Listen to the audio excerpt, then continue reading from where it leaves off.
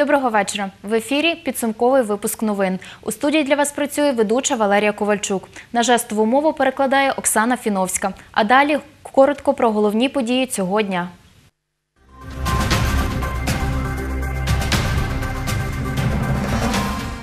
Відсьогодні і щодня медики, які чергують на блокпостах на в'їзді в Хмельницький, отримуватимуть безкоштовні продуктові набори.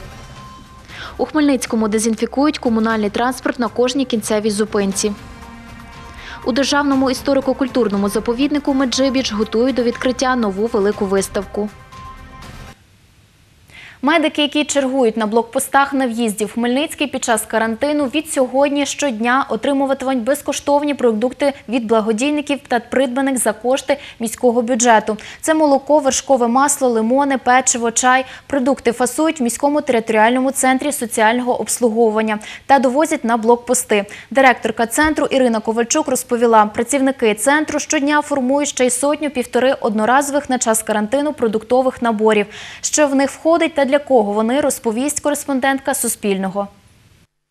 Працівниця Хмельницького міського територіального центру соціального обслуговування Яна Радзвіл принесла одноразовий на час карантину продуктовий набір 93-річному Дмитру Козубу. Чоловік не ходить, втратив ногу на виробництві, нещодавно переніс інсульт, отримує пенсію 2300 гривень. Для таких, як Дмитро Васильович, працівники міського терцентру соціального обслуговування формують харчові набори. Фасуємо муку, от, е, цукор привезли пофасований, от, хлібобулочні продукти, хліб і пиріжки, ну і овочевий буряк, морква, ну гривень 200. Одноразові продукти на час карантину отримують 70% підопічних терцентру. Не отримують ті, хто мешкає з забезпеченими дітьми чи мають пенсію понад 5 тисяч гривень. Директорка Ірина Ковальчук розповідає, натомість продукти безкоштовно надають хмельничанам, які не перебувають на патронажному догляді центру, але на час карантину опинилися в скруті. Алло, доброго дня. Так, це територіальний центр. Е, Ви на даний час е, голодуєте, також ну, дуже потребуєте продуктів, так? Виявляють сусіди, сусідів наших клієнтів, хто живе поруч. У нас працює гаряча лінія, два телефони, які люди нам цілий день телефонують. Ми їх розпитуємо. Поки що така перевірка йде при особистій бесіді. Е, Якщо людина дійсно вже голодує або не залишилось нічого, це в першу чергу є нашим об'єктом нашої уваги. Для самотніх малозабезпечених щодня формують сотні-півтори продуктових наборів. Та кількість таких людей зростає, каже соціальна працівниця Яна Радзвіл. На даний час дуже багато людей в зв'язку з карантином телефонують, потребують безкоштовно продуктового набору. Продукти в терцентр перевозять благодійники Хмельницького і області. Ми загалом плануємо понад 7 тисяч наборів роздати. Е, Це частина бюджетних грошей, які ми виділяємо на управління соціального захисту. Ну і це частина е, допомоги благодійників. Бо ще навіть от до сьогодні. Ми фактично забезпечуємось десь на 90% за рахунок благодійників. Це наші великі підприємства, е, які працюють, е, виробники продуктів харчування. Вітамінні набори з минулого тижня роздають працівникам електротрансу та ЖКГ, які здійснюють дезінфекцію. Від сьогодні розвозять продукти медикам на блокпостах. Щодня складають до півтори сотні наборів. Вітамінних ми видали 500, таких продуктових на минулому тижні 600, е, 32 набора медикам інфекційну лікарню. І от сьогодні формується ще буде слідуюча сотня, плюс по вісім кожний день на медикам, які будуть чергувати на блокпостах. Світлана Поробок, Юрій Чорний. Новини на Суспільному. Хмельницький. В Хмельницькій області станом на цю годину зареєстровано три підтверджених випадки COVID-19. Третьою захворіла 63-річна жінка з Волочиського району, яка повернулася з Італії. Про це повідомляє обласний штаб з ліквідації надзвичайної ситуації. За словами голови Хмельницької ОДА Дмитра Габінета, контактні особи всіх пацієнтів з коронавірусною інфекцією встановлені та перебувають на самоізоляції. Стан пацієнтів стабільний. Усі вони перебувають на стаціонарному лікуванні в Хмельницькій міській лікарні. Зараз життю пацієнтів наразі нічого не загрожує, але ситуація може змінитись. Зараз стан їх контрольований і стабільний. Також Дмитро Габінет зазначив, що сьогодні очікуються результати ще по чотирьох підозрах на COVID-19. Підозри наразі в осіб з Кам'янця-Подільського, Хмельницького районів та двох жителів міста Хмельницький. Результати дослідження чекаємо сьогодні, сказав на брифінгу голова ОДА. Нагадаю, 27 березня на Хмельниччині вперше підтвердили коронавірус COVID-19 у 29-річної хмельничанки, яка повернулася з туристичної подорожі Австрією та Угорщиною. Другим хворим на COVID-19 став нардеп від Хмельниччини Володимир Ватрас. Усі вони перебувають на лікуванні у Хмельницькій інфекційній лікарні. За останніми офіційними даними, Центр громадського здоров'я України фіксує в Україні 549 лабораторно підтверджених випадків COVID-19, з яких 13 летальних, 8 пацієнтів одужали та вже виписані з лікарні. За минулу добу зафіксовано 11 нових випадків, найбільше інфікованих у Києві, а також у Чернівецькій і Тернопільській областях. З початку року Центр громадського здоров'я України отримав 2642 підозри на нову коронавірусну інфекцію. 48 експрес-тестів та 51 ПЛР-тестів використали у Хмельницькій міській інфекційній лікарні станом на ранок 31 березня. Про це розповів очільник міста Олександр Семчишин. За його словами, наразі ухвалили рішення робити тестування усім людям, у кого діагностовано пневмонію. Хочемо усім обов'язково це робити, або підтверджувати, або спростовувати. Е, Маємо в міських медичних закладах зараз три пневмонії. В цьому році пневмоній трохи більше, ніж попередні. Е, Ми от поміряли перший квартал 2020 року.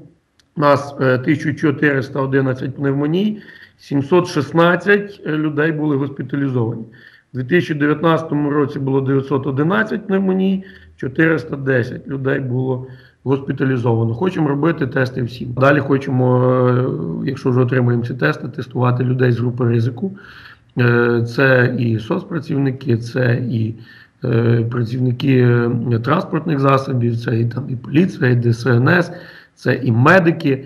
Тому, звичайно, що кількість тих, хто буде тестуватися, буде суттєво зростати.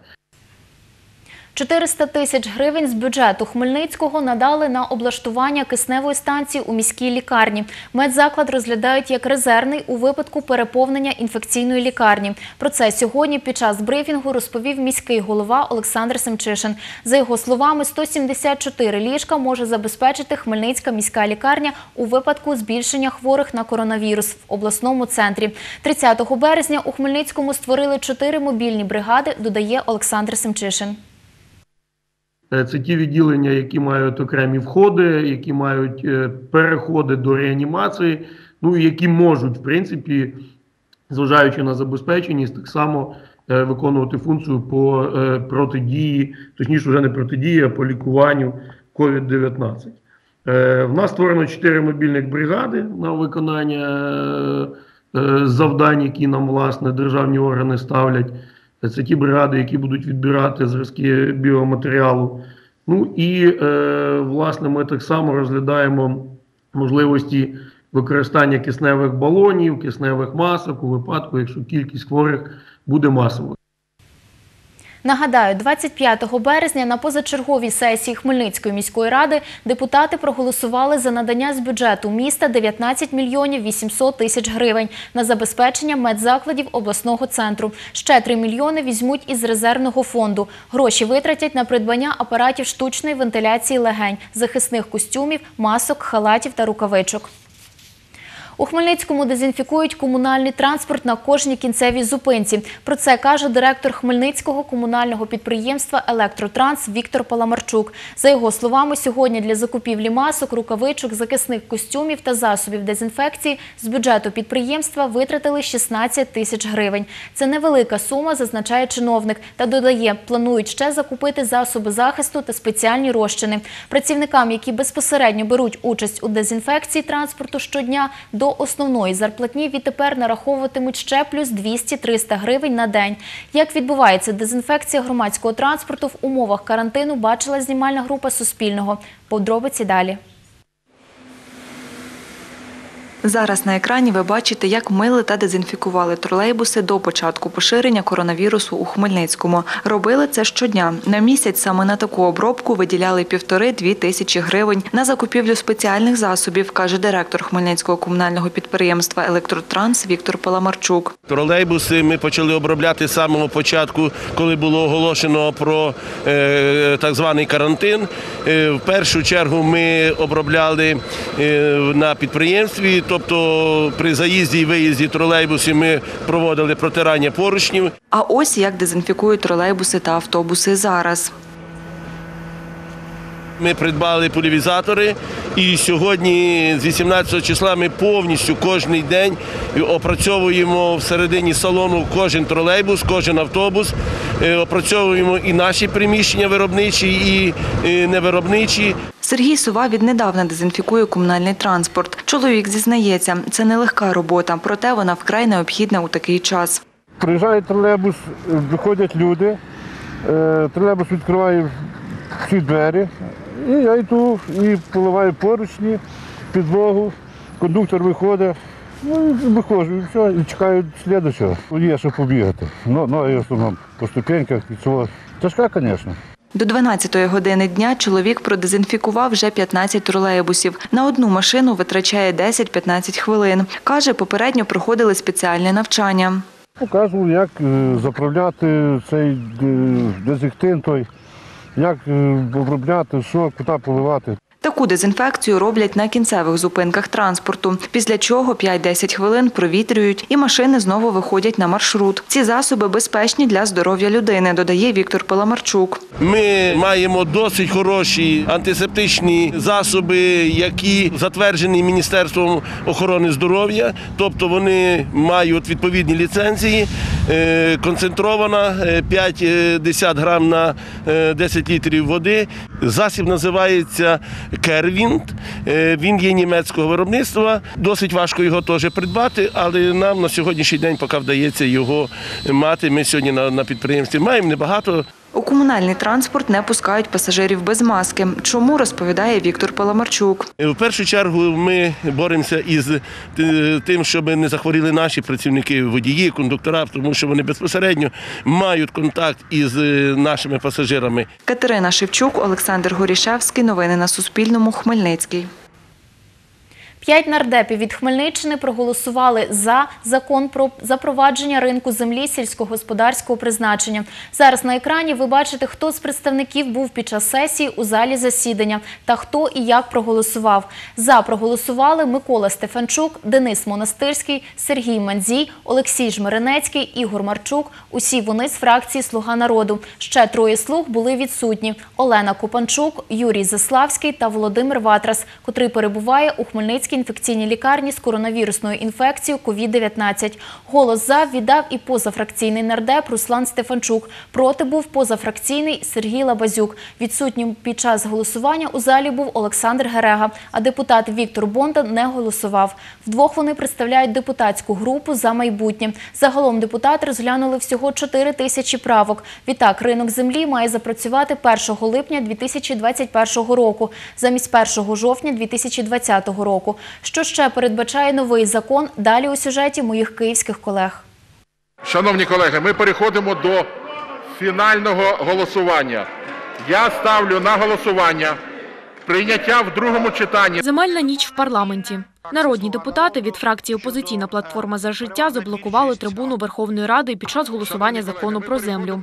За кілька годин депутати розглянули близько 700 правок. 259 народних депутатів натиснули так. Ринок землі відкрили. 259. Рішення прийнято. За проголосували фракції Слуга народу. Нардепи віддали 206 голосів. Підтримали фракції голос. 23 голоси за ринок землі віддали депутати від фракції Європейська солідарність. Голос 13, довіра 12, позафракційні 5. Не підтримали закон депутатська група за майбутнє, фракції Опозиційна платформа за життя та Батьківщина. Всі аграрні асоціації виступили проти цього закону. 466 громад виступили проти того, щоб приймали цей закон. Як ви вважаєте, вночі з таким протестом народу могло бути щось добре? Ні, нічого. Тому що в цьому законі залишилося, що володіти українською землею можуть іноземні банки. Це означає, що президент України Зеленський кинув українську землю на спекулятивний ринок і трохи прикрився фермерами. За законом ринок землі має запрацювати 1 липня 2021 року замість 1 жовтня 2020. Фізичні особи зможуть купити не більше 100 гектарів землі в одні руки. Із 2024 року юридичні особи до 10 тисяч гектарів. Продавати ділянки зможуть пайовики, а державні і комунальні землі продавати заборонено. Для іноземців купівля землі буде можливою після проведення референдуму.